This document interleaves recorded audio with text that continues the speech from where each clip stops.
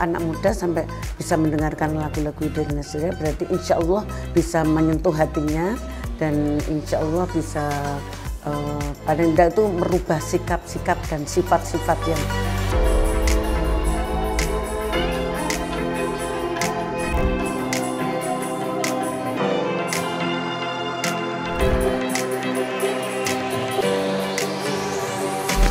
zaman gitu.